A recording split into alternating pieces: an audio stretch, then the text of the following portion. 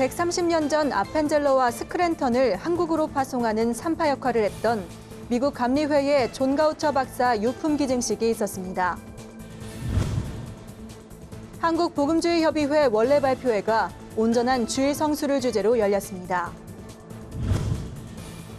백석대학교가 4월 장애인의 달을 맞아 장애인과 재학생이 함께하는 MT를 개최했습니다. 한국교회 목회자들의 은퇴 준비를 돕는 세미나가 열렸습니다. 안녕하십니까. GoodTV 뉴스입니다. 130년 전에는 선교사 아펜젤러와 스크랜턴 외에도 이들의 한국 파송을 도왔던 조력자가 있었는데요. 그리스도의 친구, 선교 개척자, 대학의 아버지로 불렸던 존 가우처 박사의 유품 전달식이 있었습니다. 또 그의 고손자와 가우처 박사 전기를 집필한 미세스 마릴린을 만나 그의 생애를 들어봤습니다. 공인의 기자입니다. 존 가우처 특별전시회 개관 기념 예배와 개관식이 지난 10일 있었습니다. 전시회는 감리회 한국선교 130주년을 기념해 마련된 것으로 한국에 처음 선보이는 가우처의 유품 30여 점을 한눈에 볼 수 있도록 구성했습니다. 가우처 박사는 초대 선교사 파송을 위해 미국 감리회를 설득하고 선교를 후원한 인물입니다. 아펜젤러와 스크랜턴 등 초대 선교사들은 그의 도움으로 한국 선교에 초석을 다졌습니다. 전시회에서 주목할 만한 것은 1907년 첫 방한시 작성된 그의 친필 일기입니다. 한국 선교 130주년을 맞아 진행된 미국 워싱턴 볼티모어 연회 역사학회의 연구 기증으로 올해 관람객을 찾게 됐습니다. The main uh, item was a diary of Dr. Goucher's from 1907 when he was making his second trip around the world. It was his first trip to Korea, so he was able to attend the Korean annual conference. It was also at a time when there was a great revival going on in Korea, and he was very pleased to be here at a time of revival. 전기 작가 메릴린은 가우처 생애의 두 가지 큰 의미를 언급했습니다.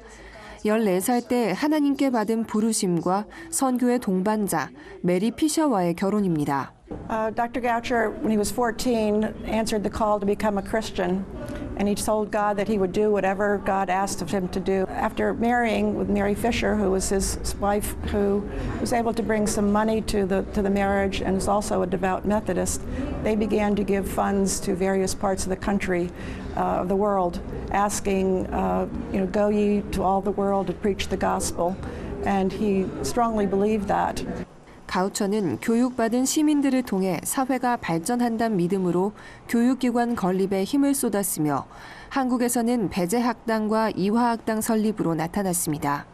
Education has always been something very important to it's something that we like to very much try to provide opportunities uh, again on a small scale for other people to help with their education. And that, I think, is one of the core values that was so important to him that has carried down very, uh, very strongly to, to my family, to myself. 미국의 175개의 교회를 개척한 교회의 개척자, 또 중국과 일본, 그리고 한국 선교 후원을 인정받아 각 나라에서 명예훈장을 받은 선교의 선봉자, 그의 평생의 선교에 대한 열정과 헌신을 살펴볼 수 있는 특별 전시회는 오는 8월까지 지속됩니다. 구티비 뉴스 공인입니다. 한국복음주의협의회가 지난 10일 원래 발표회를 가졌습니다. 참석한 목회자들은 온전한 주일 성수를 통한 신앙 회복에 대해 논의하며 한국교회의 영적 가성을 위해 기도했습니다. 홍희연 기자가 보도합니다. 총신대 박용규 교수에 의하면 통계적으로 한국 교회는 지난 1992년을 기점으로 침체되기 시작했습니다. 공교롭게도 1990년대는 한국 교회가 주일 저녁 예배를 오후 예배로 바꾸기 시작한 때이기도 합니다. 발제를 맡은 박용규 교수는 안식일이 아닌 주일을 온전히 지키는 것이 주님의 뜻이고 교회의 전통이라며 주일 성수를 강조했습니다. 초대교회 문헌에도 안식일을 지켰다는 기록이 전혀 없어요. 성경도 초대교회 모든 문헌도 주일을 지킨 것입니다. 이 전통이 기독교의 전통이었고 그리고 청교도들이 지켜왔고 이 전통을 지킨 선교사들이 한국에 파송돼서 한국교회 주의를 지키는 이와 같은 신앙을 심어준 게 아니라 몸으로 보여준 거예요. 오늘날까지 저녁 예배를 고수하고 있는 대표적인 교회로는 명성교회와 대전 새로남교회가 꼽혔습니다. 대전 새로남교회 오정호 목사는 피곤한 현대인들에게 주일 저녁 예배까지 요구하는 것은 더 큰 짐을 지우는 것이라는 의견이 있다며 온전한 주일 성수는 자신의 피곤함까지도 내려놓을 때 비로소 실현되는 것이라고 권면했습니다. 쓸 시간 다 쓰고 쉴 시간 다 쉬고 나머지 자투리 시간을 이용하여 예배자로서의 체면만 살리겠다는 생각 자체가 문제의 출발이라 여겨진다. 우선순위에서 밀린 예배는 참된 예배로서 품격을 상실한 것이다. 이어 발제를 맡은 명성교회 김사환 목사는 교회가 그 형태를 제대로 갖추기 시작하면서부터 주일을 지켜왔다며 새벽 예배부터 주일 저녁 예배까지 한 주간 모든 예배를 잘 섬기는 것이 인생의 진정한 의미라고 말했습니다. 철저하게 모든 예배는 잘 드려야 된다. 우리 같은 죄 많은 인간에게 예수님 죽으시고 우리에게 주의를 주셨는데 이 생명의 날 안 지키면 우리 사는 필요가 뭐 있습니까?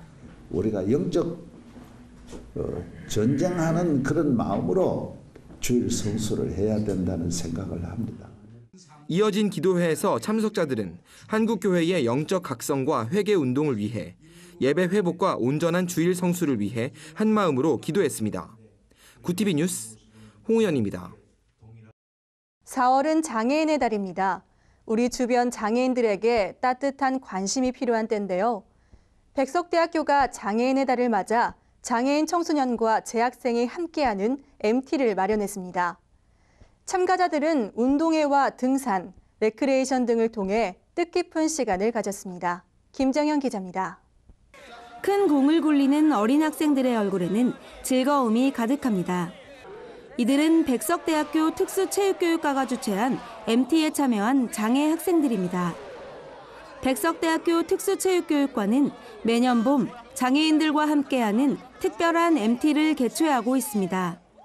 MT가 그저 먹고 마시고 노는 일회성 행사로 끝나는데 저희 과에서는 학과 특성을 살려서 장애인들과 함께 1박 2일 함께하는 MT를 진행해서 학생들한테는 지도자로서 필요한 희생, 사랑, 봉사 정신을 또 키울 수 있는 기회를 주고 1박 2일로 진행된 이번 MT는 천안 백석대학교와 충남 아산에서 진행됐습니다.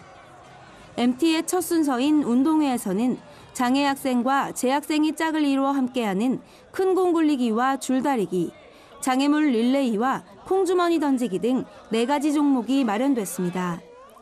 운동회 후에는 참가자들이 함께하는 주먹밥과 샌드위치 만들기, 백석대 주변 단거리 등산과 재학생들의 장애 체험 등의 프로그램이 진행됐습니다. MT에 참여한 장애 학생들은 다양한 프로그램에 참여하며 즐거운 시간을 가졌습니다. 밥 만들기, 샌드위치 만들기. 즐거워요. 백석대 특수체육교육과는 MT를 통해 특수체육교사를 꿈꾸는 재학생들에게 전공에 대한 이해를 높이고 장애인에 대한 봉사와 희생정신을 기를 수 있는 기회를 제공하고 있습니다. 지금 이제 3년 동안 제가 참여를 하게 됐는데 1학년 때는 그저 잘 모르고 신입생 때는 잘 모르고 참여했지만 3학년이 돼서 이제 학생들 진행을 하고 프로그램 참여하다 보니까 좀 더 아이들이 운동 활발한 모습을 보면서 어, 교사가 되고 싶다는 마음이 좀 더 확고해진 것 같습니다. 백석대학교는 11년째 이 행사를 이어오고 있습니다. 올해 MT에는 43명의 장애 학생과 114명의 재학생들이 참여했습니다. 구티비 뉴스 김장현입니다. 경기도 기독교 총연합회 통합감사예배와 강영선 목사 대표회장 취임식이 일산 순복음 영산교회에서 개최됐습니다. 한국교회 분열을 사랑으로 극복하고 경기총의 통합이 남북 평화통일로 이어지길 간구했습니다. 남부와 북부로 나뉘어 파열음을 냈던 두 기관이 경기총으로 새로운 출발을 알렸습니다. 경기총의 탄생은 한국교회를 향해 연합이란 새 희망을 던져주고 있습니다.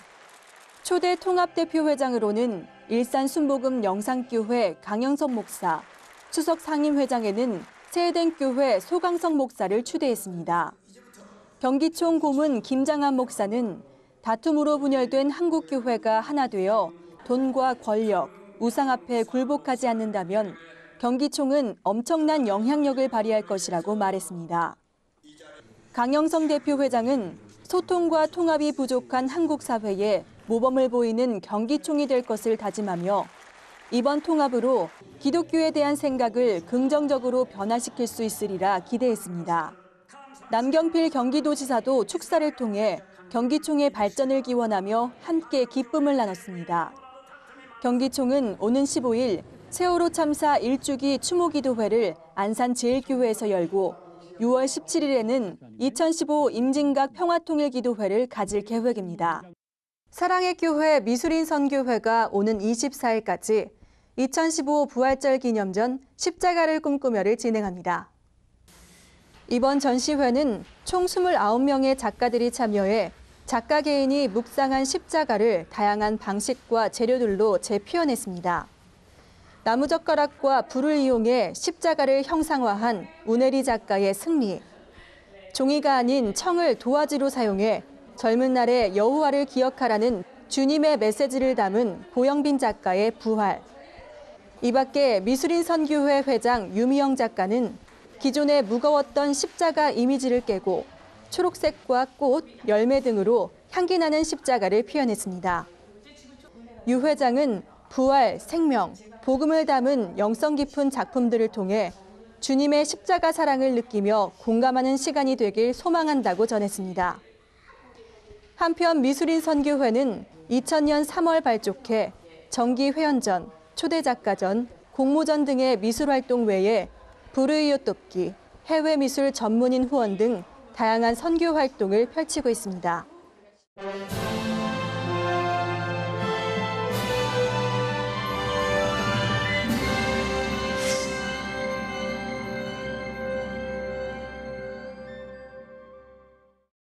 목회자들의 안정적인 노후를 위해 은퇴 후 삶을 설계하는 세미나가 열렸습니다.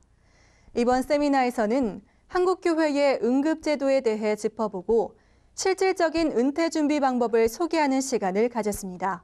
보도에 홍희연 기자입니다.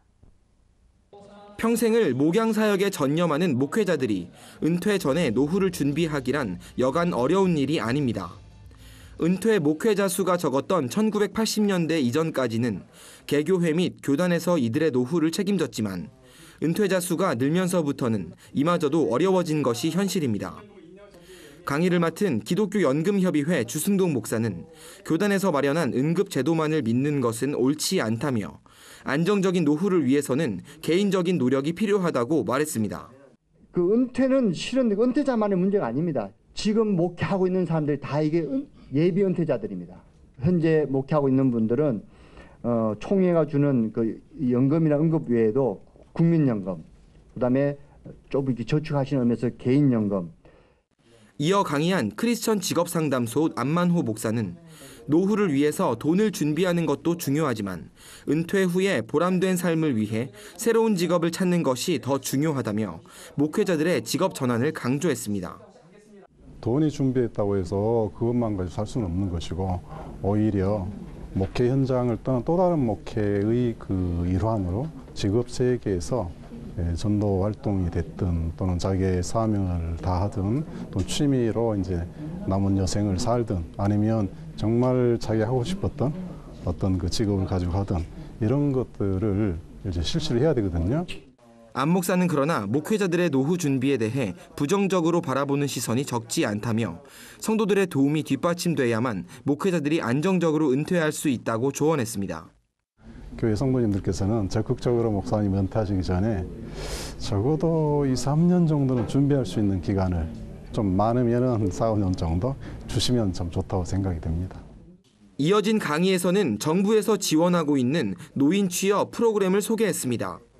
서울산업진흥원 김성열 장로는 재취업은 선택이 아닌 생존을 위한 필수 요건이라며 중장년 일자리 희망센터, 대한노인회 취업지원센터 등의 프로그램을 통해 재취업에 도전해야 한다고 말했습니다. 구티비 뉴스 홍우연입니다. 주요 단신입니다. 한국교회연합이 지난 9일 서울시청 주변에서 동성애 반대 활동을 전개해온 목회자와 성도들을 서울시가 강제 퇴거 조치한 행위에 대해 박원순 시장에게 항의 공문을 발송했습니다. 한교연은 헌법이 보장한 집회 시위의 자유와 종교의 자유를 침해한 행위로 이에 대해 담당자의 문책, 서울시장의 사과와 재발 방지를 요구한다고 밝혔습니다. 총신대학교가 학교 발전 기금 모금 등을 이유로 한 학기 채플 설교자를 외부 목회자들에게 맡긴다는 소식이 알려지면서 학생들 사이에서 논란이 일고 있습니다. 총신대 대학부 신문인 총신대보는 지난 9일 주 4회 채플 중에 평균 3회 이상을 외부 강사들이 설교하고 있다며 길자연 총장이 결정한 사항이라고 밝혔습니다. 기독교 대한감리회 전용재 감독회장을 상대로 지속적인 소송전을 벌여왔던 신기진 목사가 자신과 함께했던 양기모, 김덕창 목사와 지난 7일 전용재 감독회장의 전권을 위임받은 송윤변 목사를 만나 소속 신청 취하서를 법원에 제출하기로 전격 합의했습니다. 신 목사는 합의 다음 날인 8일 소송 대리인을 통해 서울고등법원, 서울중앙지법 등에 소취하서를 제출했다고 밝혔습니다. 광고를 통해 하나님의 말씀과 사랑을 전하는 사단법인 복음의 전함이 전국 미자립교회, 개척교회 등의 전도지와 포스터를 무료로 지원하는 미자립교회 전도지 지원 사업을 시작합니다. 미자립교회 전도지 지원 사업은 4월 한 달간 홈페이지를 통해 접수받은 후 총 100개의 교회를 선정해 전도지 최대 500부, 포스터 최대 50부를 각 교회에 발송할 예정입니다. 이상으로 구티비 뉴스를 마칩니다. 시청해주셔서 감사합니다.